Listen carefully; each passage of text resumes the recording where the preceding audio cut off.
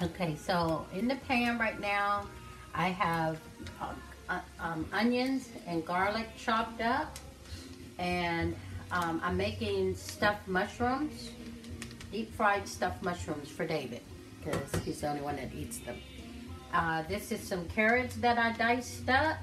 I'm adding them, and this has to uh, just saute until it gets nice and soft. And these are the mushroom uh, stems. I'm gonna add them. I chopped them all up. Once this gets nice and soft,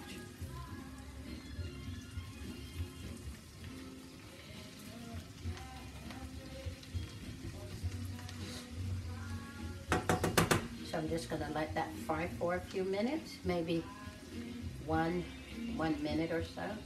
And you wanna make sure it's all down in the oil instead of up on the sides because you want it to cook. Okay, and then if we scoot over here, while that's frying, um, I've chopped up the um, mushrooms. You're not showing me? These are the mushroom uh, caps that I'm going to be um, stuffing. And I'm gonna need two bowls. Well, really one. And in this bowl, I'm going to um, make like a um, flour base. As soon as I locate where I put the flour last night, cooking was was a lot. um, and I put the flour somewhere. Anyway, you got to keep your eye on your mushrooms and car- on your onions and carrots because you don't want them to burn. Oh.